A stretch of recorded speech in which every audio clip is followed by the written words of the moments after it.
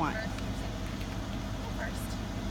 Hi, I'm Sarisa, and this is Rocket. He's uh, eight months old, and this is his brother Lloyd. Um, mainly, our our biggest problems with him was jumping all over everybody, people, countertops, stealing food.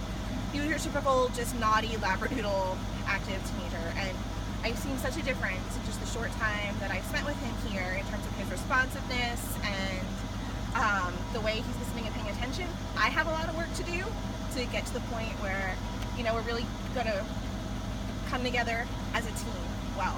So I'm excited and grateful and it's been a fun experience. Hi, I'm Laura. This is Lloyd. Um, they're brothers, uh, same age. Uh, I'm very excited to take him home and to try out our new tricks or just to see how disciplined he is with my little ones running around. Um, his attention seems a lot better and can load in the car now and I don't have to pick him up. So They're getting heavy. very excited. Thank you so much, Off Leash